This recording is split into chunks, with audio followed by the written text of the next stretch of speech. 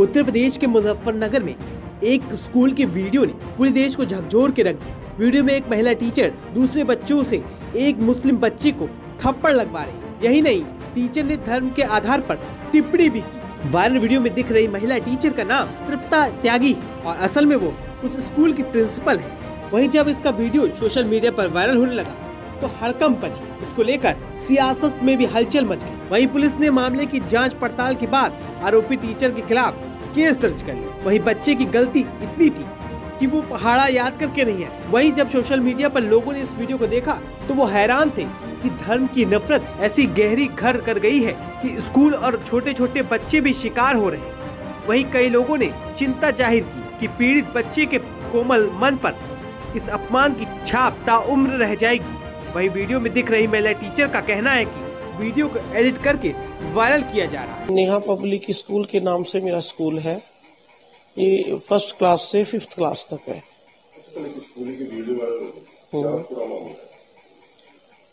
Video जो viral की गई है, ये काट पीट के की गई है। न- तो मेरा ऐसा मकसद था, और क्योंकि हमारे यहाँ तो हिंदू, मुस्लिम भाई भाई के उससे ही रहते हैं रिश्ते से। और ये जो हमारे स्कूल में तो ज़्यादातर मोमडन बच्चे ही हैं। हिंदू बच्चे कम है।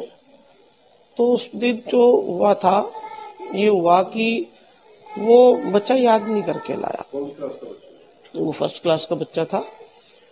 तो उसके पेरेंट्स का दबाव था मेरे ऊपर कि इसे थोड़ा सा टाइटली पढ़ा दो।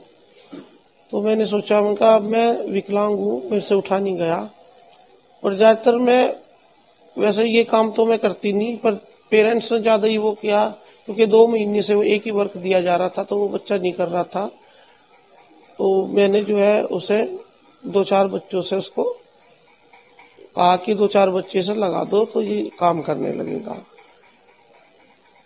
और बस उनका जो है, एक चाचा बैठा था वहीं।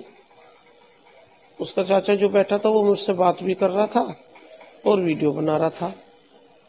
तो उसमें मैंने एक लाइन कही थी कि जितनी भी मोमडन माई हैं, वो अपने बच्चों को मामाओं के यहाँ मत लेके जाओ, क्योंकि एग्ज़ाम आने वाले हैं।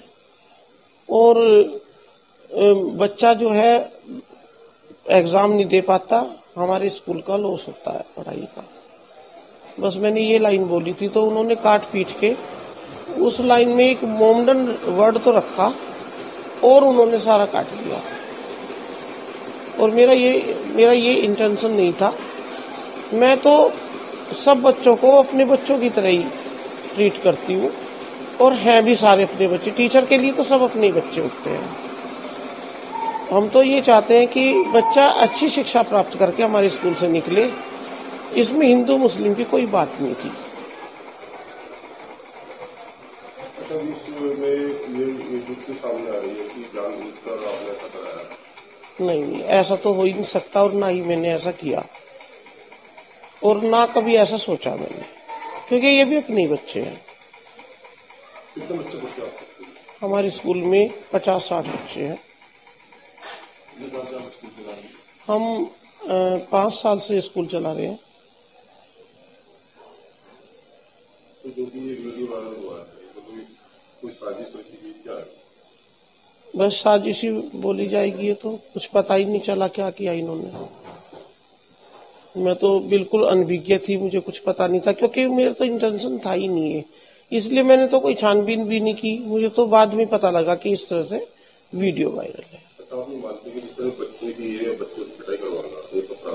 हाँ ये वैसे है, ये तो गलती हुई है मेरे से। इस चीज़ के लिए मैं, इस चीज़ के लिए तो मैं हाथ जोड़ के माफ़ी मांगती हूँ।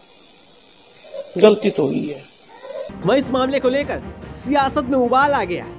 उत्तर प्रदेश के पूर्व मुख्यमंत्री अखिलेश यादव ने महिला टीचर को तत्काल बर्खास्त करने की मांग की। अखिलेश यादव ने ट्वीट कर लिखा कि मुजफ्फरनगर के एक वायरल वीडियो में एक टीचर एक अल्पसंख्यक बच्चे को दूसरे बच्चों से पिटवा रही है। इसमें वो दोहरे अपराध की दोषी है, क्योंकि वो पिटवा भी रही है और दूसरे बच्चों को हिंसक भी बना रही है। भाजपा सरकार ये वीडियो जी ट्वेंटी की मीटिंग में दिखाकर साबित करे कि उसका नफरती एजेंडा किस प्रकार से सही है। वहीं कांग्रेस के पूर्व अध्यक्ष राहुल गांधी ने भी ट्वीट करते हुए लिखा, मासूम बच्चे के मन में भेदभाव का जहर घोलना, स्कूल जैसे पवित्र स्थान को नफरत का बाज़ार बनाना, एक शिक्षक देश के लिए इससे बुरा कुछ नहीं कर सकता। यह भाजपा का फैलाया वही केरोसिन है, जिसने भारत के कोने कोने में आग लगा रखी है। बच्चे भारत का भविष्य है। उनको नफरत नहीं, हम सबको मिलकर मोहब्बत सिखानी है। वहीं पीलीभीत से भाजपा सांसद वरुण गांधी ने ट्वीट करते हुए लिखा कि ज्ञान के मंदिर में एक बच्चे के प्रति घृणा भाव ने पूरे देश का सिर शर्म से झुका दिया है। शिक्षक वो माली है जो प्राथमिक संस्कारों में ज्ञान रूपी खाद डालकर व्यक्तित्व ही नहीं, राष्ट्र भी करता है। इसलिए दूषित राजनीति से परे एक शिक्षक से उम्मीद कहीं अधिक है। देश के भविष्य का सवाल है। वहीं राष्ट्रीय लोकदल के प्रमुख जयंत चौधरी ने ट्वीट करते हुए लिखा कि मैंने अभी खब्बापुर गाँव के इर्शाद जी से बात करी है। बहुत साहसी हैं और उन्हें विश्वास है कि उनके साथ न्याय होगा। मैंने अपनी तरफ़ से उन्हें कहा कि इस दुखद वारदात को वो भूल जाए, क्योंकि हमारा समाज ऐसा नहीं है। बहरहाल, इस मामले को लेकर टीचर के ऊपर कड़ी कार्रवाई की जानी चाहिए। आपका इस मामले को लेकर क्या कुछ कहना है? हमें कमेंट करके ज़रूर बताएँ।